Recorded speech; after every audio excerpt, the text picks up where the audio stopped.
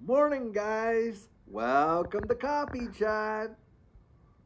Mm, mm-hmm. Wow, what an absolutely great day it is. Wow, you come out here. It's pretty mild today. You know, it's not too like blistering hot, but it's not like super cold either. I put my sweater on because it kind of looked gray and maybe a little rainy. But when I came out, it was actually, you know, quite mild. It's, you know, but but nice, nice enough. Still okay to wear a sweater, I'll tell you what. But the birds are just singing up a beautiful, sweet song. It is just amazing. Here, take a look. Take a look at how beautiful it is over there. The reason I'm not sitting over there this morning is because it is hazy. The light coming into the camera here, it just washes it all out. So I thought, okay, I'll just change spots. That's all there. Guys, something big is happening right now. And what it is, is you got the Chicago Mercantile Exchange, and they are going to be adding spot Bitcoin to their platform. This is a massive, massive deal. Now, I'll tell you why right here. Mm. Of course, we already know that the uh, CME has been, you know, involved with, of course, futures for Bitcoin and stuff like that. But a spot Bitcoin is going to make it possible for a major amount of these hedge funds and institutional investors to literally get into this space, meeting every regulatory requirement that they need. Most spot ETF, you know, not the ETF, but most spot Bitcoin trading in that happens in the wide world, believe it or not, on Binance. Binance is the biggest one. But when you're talking about the Chicago Mercantile Exchange, it's the world's largest futures platform. And they are already dealing in Bitcoin futures, but now they're going to be dealing with spot Bitcoin. That is massive, massive, because we're not just talking about the exchange traded funds here. We're not just talking about ETFs. We're talking about hedge funds and institutional investors being able to literally go right through and purchase Bitcoin directly themselves, not by buying ETFs, and the ETFs have to hold the underlying asset. This is going to be a big deal. And why is such a big deal? Because, guys, we have been talking about institutional rails in this space for a long time. Now, of course, Bitcoin is the granddaddy of them all, right? I mean, Bitcoin out there right now, I think almost half the market cap for the entirety of crypto is Bitcoin. And I have nothing against Bitcoin. By the way, that's that's my own. I have nothing against Bitcoin. It's the Bitcoin maxis that just think it's there. There can be only one kind of thing. Nothing against Bitcoin. But I do believe that this is going to open the door, just like the ETFs have opened the door to, you know, potential other ETFs, the Bitcoin ETF, opening the door to other ETFs.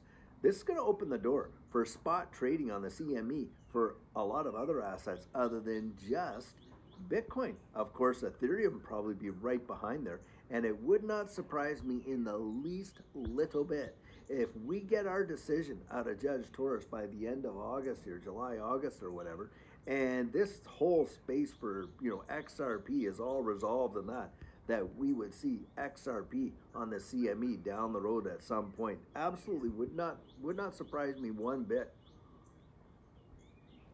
The world is adopting crypto massively. Now, why this is so significant is because it was not that long ago where none of these institutions would even think of touching Bitcoin. Not a one.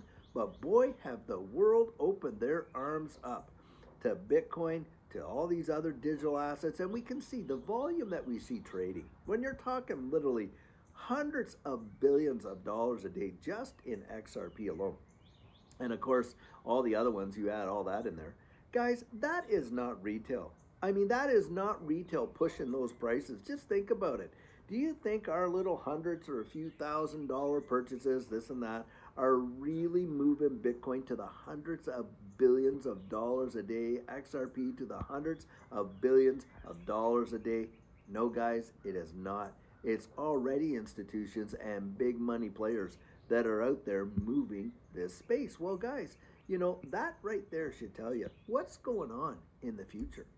I mean, realistically, I mean, I, I, you know, for a lot of people I talk to, you know, they're looking for an absolute certainty. They're not really adjusted to what risk is, right? They don't know how to navigate risk because they're very, very emotionally attached to it. Now, I get it. I understand that because that's exactly where Judy and I started for sure. And, you know, we were tiptoeing in like anybody would, I suspect, if you've never had exposure to it before. But the thing is this when people say, hey, you got to take the emotion out of it, it does not mean you are not going to have feelings.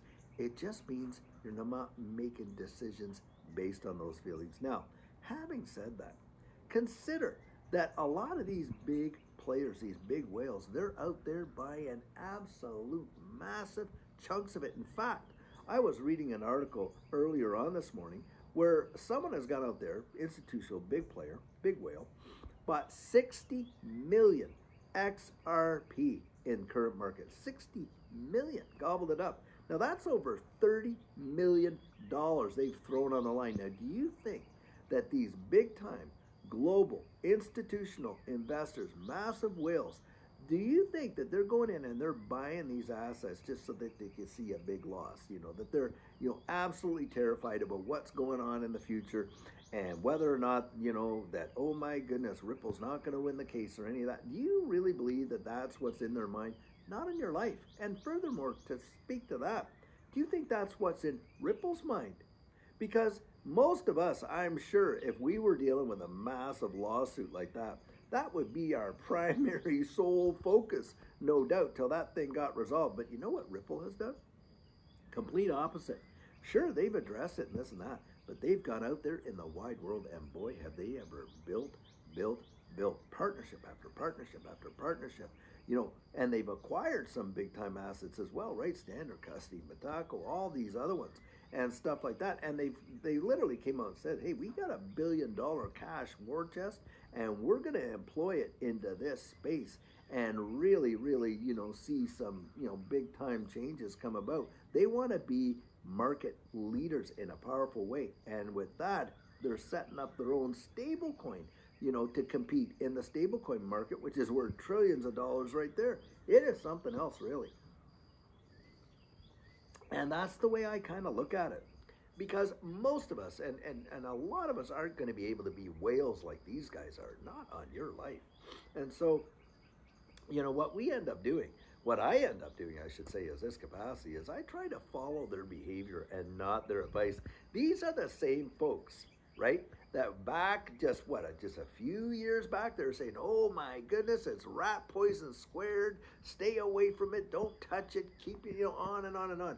Meanwhile, they were setting themselves up and accumulating it, having trading desks and everything. And now look at, boy, it's arms open. You even got Larry Fink himself out there, who, like I said yesterday, has come out and said, listen, these digital assets, you know, they can represent a flight to safety, you know, in a crashing dollar environment and it's going to be the next evolution you know the tokenization securities next evolution of the markets when it wasn't that long ago larry fink was singing a song saying well none of the clients that we deal with ever want to touch bitcoin and and oh well you know it, it's, it's really you know there's nothing really there. It, it's nothing. It's virtual whatever, and on and on and on. Guys they were just playing up a song. They knew exactly what this space represents. They know it represents the future and what have they been doing? They've been accumulating like crazy and now they're getting the infrastructure all laid the way they want it.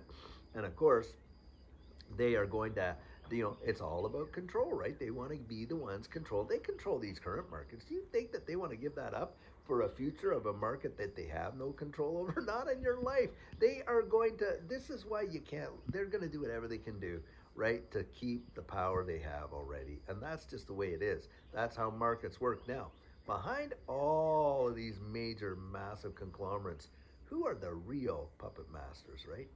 The central banks the central banks. That's where it all starts and ends. It starts with the debt market, which is literally funded by these central banks because every time that they create a new dollar, what are they doing? They're creating more liability. That's exactly right. More debt. In fact, that's why I say, like, I love what Augustine Carstens said when he's a general manager of Bank of International Settlements. He says all these notes, $100 note, 50 note, 20 note, and all that, all they are are, are you know, liability instruments. That's exactly what he called them.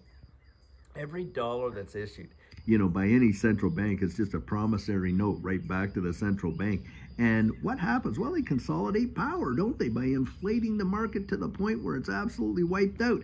They consolidate it and they end up owning, you know, and controlling all of these various markets. That's exactly what's going on. And of course, their tentacles are up here. And then, you know, they get all their little, you know, they're playing, pulling all the strings, all these various corporations and indices and markets and all that. You know, they're the puppet masters. That's what's going on. They're pulling the strings. So do you think that the central banks are genuinely against this digital asset space? No, they're not. They're in the process of evolving right into it. But boy, do they ever want to have absolute control. And I've heard it said this, and I do agree with this as well. If you think that these central banks are going to give up the control of the monetary systems and things like that, I'm telling you what, they will literally roll the tanks out on the streets before they ever allow that to happen. And that is a fact, Jack, right there. It's all about control, guys. It's all about control.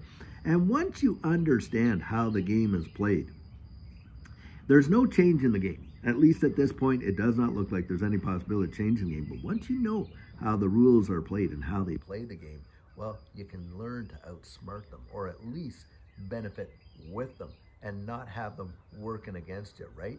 And that kind of thing. And that's where we say, hey, we don't follow their advice. We follow their behavior and we take our pennies and we stack them next to their dollars. And eventually maybe our pennies turn into some dollars and stuff like that. That's kind of like the, the thinking I've got about it.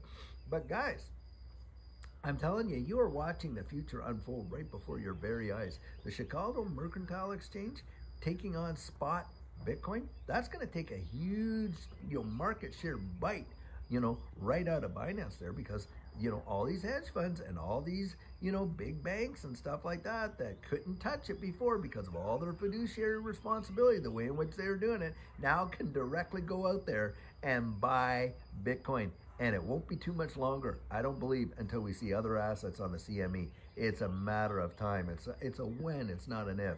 And that's how I look at it. And I'll tell you what, what an exciting time to be alive. What a amazing transition period. Now, yeah, there's something coming. And it's going to hurt a lot of folks when this whole thing implodes. But we have been out there and trying to give people a heads up of how they can protect themselves and build a hedge, you know, from the onslaught that's coming.